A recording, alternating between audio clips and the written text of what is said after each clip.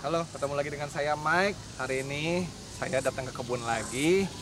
Eh, hari ini kebetulan Peter nggak bisa eh, bikin video bareng karena ada keperluan dengan familinya. Jadi hari ini saya sendiri bikin video dan saya mau bahas mengenai mastering knowledge. Saya mengalami pengalaman yang unik. Ya, kita bicara sambil jalan ya.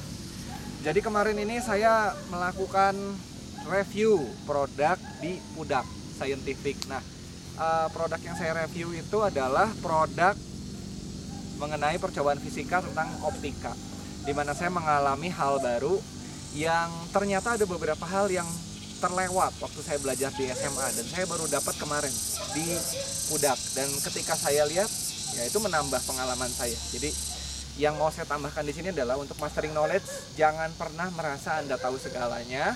Ada kemungkinan anak-anak sekarang yang belajar dengan peralatan yang lebih baik, peralatan yang lebih lengkap, mereka memiliki pengetahuan yang lebih baik dari kita. Nah, so eh, saran dari saya tetaplah belajar, tetaplah cari tahu dan eh, tetaplah skeptis, eh, jangan mudah diarahkan point of view-nya. Jadi cara berpikir mindsetnya jangan mudah diarahkan, tapi tetaplah skeptis mempertanyakan apakah ini benar atau salah, sehingga kamu tidak akan terjebak di dalam pola pikir yang salah.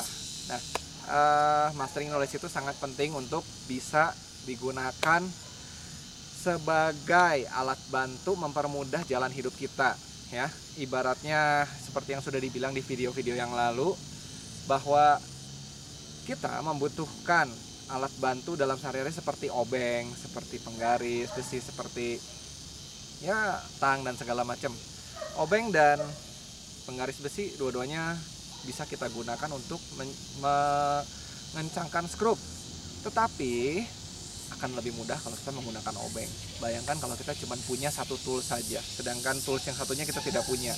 Apa yang terjadi adalah ya akan mengalami kesulitan, ya. So tetaplah lengkapi tools kalian dalam hidup, terus anda-anda semua dalam hidup supaya eh, kita bisa menjalani hidup dengan lebih mudah. Semakin banyak tools tuh semakin mudah, semakin eh, terbuka pengetahuannya, ya.